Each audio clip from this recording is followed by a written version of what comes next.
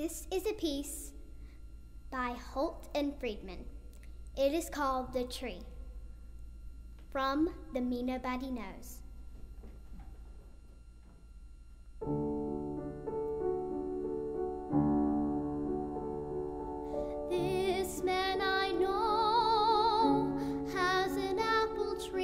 hoping